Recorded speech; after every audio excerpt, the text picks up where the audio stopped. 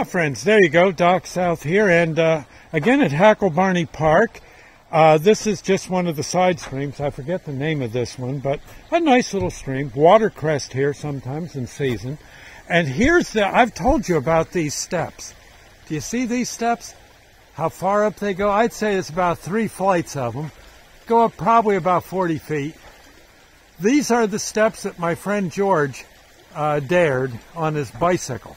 Uh, he started up the top, at the top, uh, let her rip. Uh, he started screaming at about the fifth step down, about where those folks are, where they're climbing up.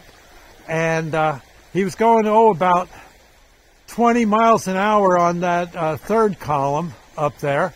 And then, uh, well, on this big step, set of steps here that are rather ancient now, he, he went airborne and I think his bike kind of uh, well nosed down, and he, uh, in fact, I think the front wheel came off, and there was just the uh, just the spur, uh, the the fork of the front, uh, somewhere around mid mid flight, uh, hit the hit the steps and catapulted George.